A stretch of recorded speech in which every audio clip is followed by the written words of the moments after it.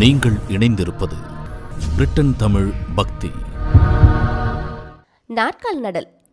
இதை பந்தக்கால் நடுவது என்பார்கள். பந்தக்கால் நடுவதற்கு வேறில்லாமல் துளிரும் மரத்தை அதாவது பூவரச மரம் வெட்டி நட வேண்டும். மரத்தின் நுனியில் முனை முறியாத மஞ்சள் பனிரெண்டு மாவிலைகள் பூ மூன்றையும் இணைத்து கட்ட வேண்டும். பின்பு நட வேண்டிய குழியில் வெள்ளி நாணயம் பூ நவதானியம் இவற்றை போட்டு பந்தக்கால் நட வேண்டும். சாம்பிராணி காண்பித்து தேங்காய் உடைக்க வேண்டும். பந்தக்கால் நட்டவுடன் மரத்தின் அடியில் பால் ஊற்றி மஞ்சள் குங்குமத்தை மேல் நோக்கி தடவ வேண்டும். மாவிலை நவதானியம் வெள்ளி நாணயம் பூ இவை தீய சக்திகளை உள்வாங்கிக் கொள்ளும். பிரபஞ்சத்தில் உள்ள பஞ்சபூதங்களுக்கும் அறிக்கை செய்து ஆசை பெறுவது நோக்கமாகும். பொன்னுருக்குதல் திருமாங்கல்யம் என்பது சுமங்கலியின் சின்னமாகும். போற்றி பாதுகாக்கப்பட வேண்டியதாகும். நல்ல நாளில் தீர்க்க சுமங்கலியாக வாழ்வதற்கு மாப்பிள்ளை வீட்டில் வைத்து உரிய நபரிடம் புதிய பொன் கொடுத்து திருமங்கல்யம் செய்ய வேண்டும். கலப்பரப்பு. மாப்பிள்ளை வீட்டார் கொடுக்கும் சேலையை களத்தில் பரப்பி அதாவது தரையில் விரித்து மணப்பெண் அமர்ந்து மங்களப் பொருட்களை இரு வீட்டாருக்கும் வழங்குவதன் மூலம் இரு வீட்டாரும் கலந்து ஒன்றாகிவிட்டதாக அடையாள நிகழ்ச்சியாகும். பாத்திரத்தில் மங்களப் பொருட்களை நிரப்புதல் கலப்பரப்பு ஆகும். அதாவது மஞ்சள் கலவை வெற்றிலை பாக்கு தேங்காய் பழங்கள் பூச்சரம் இவற்றை நிரப்புதலாகும். காப்பு கட்டுதல். காப்பு என்பது அரண் போன்றது. மங்களகரமான சக்தி வாய்ந்த மங்கள உருவாய்ந்த மஞ்சள் கயிற்றை காப்பாக கட்டுவது. திருஷ்டி மற்றும் அசுர சக்திகளால் இடையூறுகள் வராமல் தடுப்பதற்கு காப்பு கட்டுவதிலிருந்து மறுநாள் காப்பு அவிழ்க்கும் வரை திருமணம் சம்பந்தமான அனைத்து நிகழ்ச்சிகளையும் தடையின்றி செய்வேன் என்பதை உறுதி செய்யும் சடங்காகும். அனைத்து நிகழ்ச்சிகளும் தடையின்றி நடைபெறும் வண்ணம் இடையூறு வராமல் காக்குமாறு தெய்வத்தை வேண்டி கட்டப்படுவதாகும். முளைப்பாலைகள். நவதானியத்தின் மூலமாக நவகரங்களை சாந்தி செய்வது. முளைப்பாலிகையில் இடப்படும் நவதானியங்கள் வளர்வது போல குடும்பமும் செழித்து வளரட்டும் என்பதற்கான அடையாளச் சடங்கு. கள்ளங்கபடமற்ற குழந்தைகளின் உள்ளம் தெய்வீக பண்பின் உறைவிடம். எனவே சிறுமியர் மூலமாக இச்சடங்கு நடத்தப்படுகின்றது. தாரை வார்த்தல். தாரை என்றால் நீர் என பொருள். நீருக்கு தீட்டில்லை. நீர் மந்திரநாத ஒலியின் அதிர்வை ஏற்படுத்தக்கூடியது. இப்படி தெய்வத்தன்மை வாய்ந்த நீரை இதற்கு பயன்படுத்துகின்றனர். திருமணச் சடங்குகளில் மிக முக்கியமானது தாரை வார்த்தல். தாரை வார்த்த பின்புதான் மணமகன் மணமகள் களத்தில் தாலி கட்டும் உரிமையை அடைகின்றான்.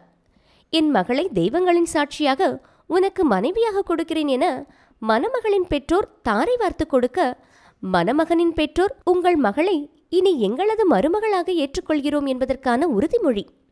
எனவேதான் மாப்பிள்ளையின் தாயார் கையேற்றுக்கொள்ளும் விதமாக அடியில் இருக்க அதற்கு மேல் மணமகனின் தந்தையின் கை மணமகனின் கை மணப்பெண்ணின் கை மணப்பெண்ணின் தந்தையின் கை எல்லாவற்றிற்கும் மேலாக மணப்பெண்ணின் தாயாரின் கை. இந்த வரிசையில் கைகளை வைத்து இச்சடங்கு நடைபெறும். உரிமையை விட்டுக் கொடுப்பதற்கு அடையாளமாக செய்யப்படும் சாஸ்திரபூர்வமான சடங்கு தாரை வார்த்தல் எனப்படும் தாலி கட்டுவது. தாலி என்பது மணமகன் மணமகள் கழுத்தில் கட்டும் மஞ்சள் கயிறாகும். மஞ்சள் நிறம் இந்துக்களின் புனித நிறமாகும். மேலும் தாலி என்பது ஒரு பெண்ணுக்கு அடையாள சின்னமாகும். தலை நிமிர்ந்து நடந்து வரும் ஆடவர் ஒரு பெண்ணை பார்க்கும்போது கழுத்தில் தாலியை பார்க்கும்போது இவள் மற்றவருக்கு உரியவள் என ஒதுங்கி போய்விடுவார். தாளம் பனை என்ற பனை ஓலையினால் செய்த ஒன்றையே மணமகள் கழுத்தில் கட்டி வந்தபடியால் இதற்கு தாலி என்ற பெயர் வந்தது. தாளமாகிய பனை ஓலையினால் செய்தது என்பது இதன் பொருள். பனை ஓலை தாலி அடிக்கடி பழுதுபட்டதால் நிரந்தரமாக இருக்க உலோகத்தாலான தாலி செய்து பயன்படுத்தினர். பின்னாளில் அதனை பொன்னால் செய்து பொற்றாலியாக்கினர். ஆயினும் தாலியின் உண்மையான அடையாளம் பொன்னில் செய்வதால் அல்ல. வெறுமனே ஒரு விரலி மஞ்சளை எடுத்து கயிற்றில் கட்டி கழுத்தில் முடிச்சு போடுவது கூட தாலிதான். இயல் மஞ்சளை எடுத்து வெயிலில் காய வைத்து நீரில்லாமல் வற்ற வைத்த மஞ்சளுக்குத்தான் விரலி மஞ்சள் என்று பெயர். விரல் விரலாய் இருக்கும் மஞ்சள் விரலி மஞ்சள். மஞ்சள் கட்டும் கயிற்றுக்கும் மஞ்சள் நிறம் ஏற்றுவார்கள். தாலியின் மகிமை மஞ்சள் கயிறு கட்டுதல் ஆகியவற்றில் அடங்கியிருக்கிறதை ஒழிய பொன் பணம் சங்கிலி என்பதில் இல்லை. இன்னார் மகன் இன்னார் மகளை இன்னார் சம்மதத்துடன் இன்னார் முன்னிலையில் இந்த நேரத்தில் இந்நாளில் கல்யாணம் செய்து கொள்வதாக அனைவரும் கையொப்பமிட அந்த தாலியினை கயிற்றில் கோர்த்து மணமகளின் கழுத்தில் மணமகன் கட்டியதாக சாஸ்திரம் கூறுகிறது. தாலி என்பது ஆரியர்களுக்கு பிறகு வந்த பழக்கம் என சிலர் கூறுவர். ஆனால் அது தவறாகும். பண்டைய காலத்திலிருந்தே தமிழர்கள் பின்பற்றி வந்த ஒரு சம்பிரதாயமாகும். பண்டைய இலக்கியங்களில் இதை மங்களனான் என்று கூறப்பட்டுள்ளது. மாங்கல்ய சரடானது ஒன்பது இழைகளை கொண்டதாகும். ஒவ்வொரு இழைகளும் ஒவ்வொரு நற்குணங்களை குறிக்கிறது. தெய்வீக குணம் தூய்மையான குணம் மேன்மை தொண்டுள்ளம் தன்னடக்கம் ஆற்றல் விவேகம் உண்மை உள்ளதை உள்ளபடி புரிந்து கொள்ளுதல் போன்ற ஒன்பது குணங்களும் ஒரு பெண்ணிற்கு இருக்க வேண்டும் என்பதற்காகவே ஒன்பது சரடுள்ள மாங்கல்யனான் பெண்களுக்கு அணியப்படுகிறது. ஹோமம் வளர்த்தல். வேதங்களில் சொல்லப்பட்டபடி அக்னி சாட்சியாக திருமணம் நடைபெற வேண்டும். ஹோமத்தின் மூலம் நவகிரகங்களை திருப்திப்படுத்த வேண்டும். ஹோமத்தில் இடப்படும் பொருட்கள் சுற்றுப்புறத்தை சுத்தப்படுத்துகிறது. ஹோமப்புகை உடலுக்கும் மனதுக்கும் ஆரோக்கியத்தை கொடுக்கும். எந்த ஒரு நிகழ்வும் அக்னி சாட்சியாக நடந்தால்தான் சாஸ்திரப்படி சரியாகும். கும்பம் வைத்தல். கும்பம் இறைவனது உடம்பின் அடையாளம். இறைவனின் வித்யாதேகமாக திகழ்வது கும்பம். இறைவனது திருமேனி கும்பத்தில் பாவிக்கப்படும். கும்ப வஸ்திரம் உடம்பின் தோல். நூல். நாட நரம்புகள் குடம். தசை. தண்ணீர். இரத்தம். நவரத்தினங்கள் எலும்பு. தேங்காய். தலை. மாவிலை. தலைமயிர் தருப்பை குடுமி மந்திரம் உயிர் ஆகியவற்றை குறிப்பிடுகிறது. அம்மி மிதித்தல். அம்மி என்பது கருங்கல்லினாலான சமையல் செய்வதற்கு பயன்படும் பொருட்களை அரைப்பதற்கு பயன்படும் கருவியாகும். அம்மி மிக உறுதியுடனும் ஒரே இடத்தில் அசையாமலும் இருக்கும். திருமண பெண் புகுந்த வீட்டில் எவ்வளவு பிரச்சனைகள் இருந்தாலும் கணவர் மாமனார் மாமியார் நாத்தனார் மற்றும் அனைவராலும் சங்கடங்கள் வந்தாலும் மன உறுதியுடன் எதையும் எதிர்கொள்ளும் பக்குவத்தை கொண்டிருக்க வேண்டும் என்பதை உணர்த்தவே அம்மி மிதிப்பதாகும். அருந்ததி பார்த்தல். அருந்ததி என்பது ஏழு ரிஷிகளில் ஒருவரான வசிஷ்டர் அவர்களின் மனைவி ஆவர். ஏழு ரிஷிகளும் வானில் நட்சத்திரங்களாக ஒளி வீசுகிறார்கள்.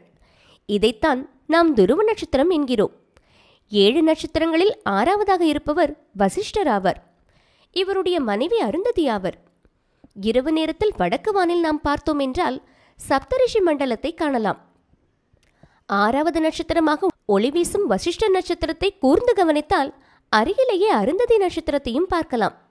மற்ற ரிஷிகளெல்லாம் ரம்பா ஊர்வசி மேனகை இவர்களிடம் சபலப்பட்டவர்கள். அதேபோல அவர்களுடைய மனைவிகளும் இந்திரனின் மேல் சபலப்பட்டவர்கள். ஆனால் வசிஷ்டரும் மனைவியும் ஒன்று சேர்ந்து மற்றவர்களின் மீது எந்த சபலமும் இல்லாமல் வாழ்ந்தவர்கள். அருந்ததி நட்சத்திரம் அருகிலேயே இருந்தாலும் நம் கண்களுக்கு ஒரே நட்சத்திரமாக தெரிகிறது. அதேபோல் மணமக்கள் இருவராக இருந்தாலும் எண்ணங்களும் சிந்தனைகளும் ஒன்றாக இருக்க வேண்டும். மணமகளும் அருந்ததியைப் போல கண்ணியமாகவும் கட்டுப்பாட்டுடன் வாழ வேண்டும் என்பதை உணர்த்துவதற்காகவே அருந்ததி பார்க்க சொல்கிறார்கள். ஏற்றி இறக்குதல். மணமக்களை பாதுகாக்க இரு சுமங்கலைகள் மங்களப் பொருட்களை தொட்டு செய்யும் சடங்கு. மேலும் அருவ நிலையிலிருந்து மணமக்களை ஆசிர்வதிக்கும் தெய்வங்களுக்கும் பஞ்சபூதங்களுக்கும் முன்னோர்களுக்கும் காட்டும் மரியாதையான பாவனை திருஷ்டி கழிப்பதற்காக செய்யப்படுவதும் உண்டு. அடைப்பொறி பச்சரிசி மாவினால் செய்யப்படும் அடையும் பல உருவத்தை காட்டும் வகையில் பொறிக்கப்படும் நெல் பொரியும் திருமண நிகழ்வுகளால் செய்யப்படும் பல்வேறு திருஷ்டி தோஷங்களை நீக்க வல்லது இது அட்டதிக் பாலகர்களுக்கு கொடுக்கப்படும் அவிர்பாகமாகும் நிறைநாழி. நித்தமும் குத்துவிளக்கு என்று சொல்லக்கூடிய திருவிளக்கை வைத்து வழிபட்டால் நற்பேறுகள் பெருகும் என்பது ஐதீகமாகும். ஒலுசை. ஒலுசை என்பதை வரதட்சணை என்றும் கூறுவர். மணமகள் அனைத்து வகை செல்வங்களுடன் கணவன் வீட்டிற்கு வருகிறாள் என்பதை அறிவிக்கும் நிகழ்ச்சி. சிறப்பான இல்லற வாழ்விற்கு அத்தியாவசியமான பொருட்களை பொறுப்புணர்ச்சியுடன் பெண் வீட்டார் கொடுப்பது. ஒலுசை பொருட்களை பட்டியலிட்டு சபையில் கொடுப்பது தற்சமயம் குறைந்து வருகிறது. இது வரவேற்கத்தக்க விஷயமாகும். மணமகள் பொங்கலிடுதல் முதல் நாள் திருமண நிகழ்ச்சிகள் அனைத்தும் சிறப்பாக நடத்தி கொடுத்த இறைவனுக்கும் முன்னோர்களுக்கும் சூரியன் முதலான தேவர்களுக்கும் நன்றி தெரிவிக்கும் நிகழ்ச்சியாகும். மணமகள் வீட்டு பொறுப்பை ஏற்றுக்கொண்டாள் என்பதை வெளிப்படுத்தும் பொதுப்பெண்ணின் சமையல் நளினம் பற்றி மற்றவர்கள் தெரிந்து கொள்ள உதவுவது. இதுதான் மணப்பெண்ணின் முதல் சமையல். இன்று போல் என்றும் வாழ்க்கை பால் போல் பொங்க வேண்டும் என்பதற்கான அறிகுறியே பொங்கலிடுவதின் நோக்கமாகும். மாப்பிள்ளை மாற்றுவது. எதிர்வரும் நிகழ்வுகளுக்கு அச்சாரம். இனியும் நீங்கள் பச்சை குழந்தைகள் அல்ல. என்பதை மணமக்களுக்கு உணர்த்தும் செயல் வடிவ உபதேசம். பிறக்கப் போகும் குழந்தைகள் நல்ல முறையில் சிறப்பாக இருக்க வேண்டும் என்ற நோக்கத்தில் அனைவரும் ஒரு சேர வாழ்த்துவது. திருமணத்தின் பயனே நன்மக்கட்பேறு மங்களம் என்ப மனைமாட்சி மற்று ஞலம் நன்மக்கட்பேறு என்பது திருவள்ளுவரின் வாக்காகும். நன்மக்கட்பேறு பெறுவதற்காக செய்யப்படும் ஒரு சடங்காகும். மறுவீடு. மணமகளின் பெற்றோரும் உறவினரும் மாப்பிள்ளை வீட்டிற்கு முதன்முறையாக மணமகளுடன் சென்று விருந்துண்டு மகிழ்வது உறவை வலுப்படுத்துவது. ஒரு பெண்ணிற்கு பிறந்த வீடு வாழ்க்கையும் புகுந்த வீடு வாழ்க்கையும் ஒரு நாணயத்தின் இரு பக்கங்கள் போன்றது. மகளை வாழ்க்கையின் மறுபக்கத்தை காண செய்வதே மறுவீடாகும். கோவிலுக்கு அழைத்துச் செல்லல். நல்ல திருமண வாழ்க்கை வேண்டும் என்பது மணமக்களின் பிரார்த்தனைகளில் ஒன்றாக அமைந்திருக்கும். வேண்டுதலை நிறைவேற்றிய இறைவனுக்கு நன்றி செலுத்துவதுடன் இறை வாழ்க்கை வளம் பெற தெய்வங்களின் ஆசி பெறுவதற்கு தம்பதிகளை கோவிலுக்கு அழைத்து செல்ல வேண்டும். மேலும் இது போன்ற நிகழ்வுகளுக்கு இணைந்திருங்கள். பிரிட்டன் தமிழ் பக்தி.